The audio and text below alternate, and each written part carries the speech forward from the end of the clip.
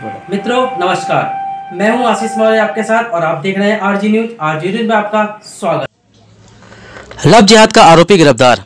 आपको पता चल गया उत्तर प्रदेश जिला बरेली के लव जिहाद का मुख्य आरोपी गिरफ़्तार। 28 नवंबर को दर्ज हुआ था लव जिहाद का मुकदमा। लव जिहाद कानून बनने के बाद बरेली में दर्ज हुआ था पहला मुकदमा। मुकदमा दर्ज होने के बाद से फरार चल रहा था लव जिहाद अभियुक्त। मुखबिर की सूचना पर पुलिस ने देवरनी थाना क्षेत्र देवरनी फाटक से किया गिरफ़्तार। उत्तर प्रदेश जिला बरेली में जिहाद के एक मामले में बरेली ने एक युवक की गिरफ्तारी की है। दरअसल, बरेली के देरुनी थाना क्षेत्र में 28 नवंबर को एक किसान पिता ने जिहाद का मुकदमा दर्ज कराया था। तब से आरोपी युवक अपने घर से फरार था। आज पुलिस ने एक मुखबिर की सूचना पर देरुनिया रेलवे फाटक से गिरफ़्तार कर लिया। बताया जाता है कि युवक कहीं दूर भागना चाहता था, जहाँ वह पुलिस की गिरफ्त में नहीं आ सके। एक बार फिर आपको पूरा मामला बता दें कि जबरन धर्मांतरण को लेकर बरेली पुलिस ने नए कानून के तहत पहली एफआईआर दर्ज की थी।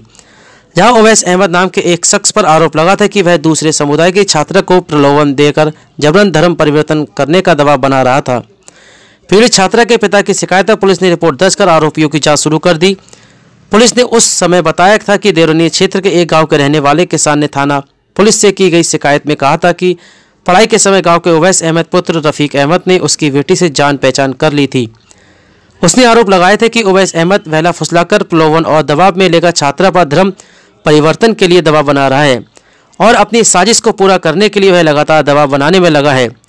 विरोध पर छात्रा के पिता और परिवार को जान से मारने की धमकी दे रहा है और गाली गलौज करता है। उन्होंने यह भी बताया कि छात्रा के पिता की शिकायत को गंभीर लेकर आरोपी के खिलाफ उत्तर प्रदेश विधि विरुद्ध धर्म सपरिवर्तन प्रतिशेष अधिनियम और धारा 504 506 के तहत केस दस कर आरोपी की जाँच शुरू कर दी थी। फ़िलहाल आल पुलिस ने युवक की गिरफ्तारी कर ली है। जल्द युवक को कोर्ट के सामने पेश किया जाएगा।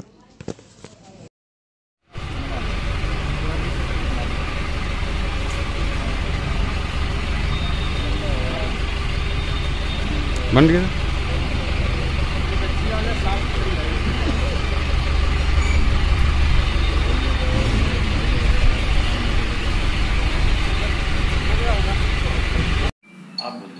सर देवरानिया थाना इलाके का एक आरोपी था उसको गिरफ़्तार किया। क्या है पूरा मामला?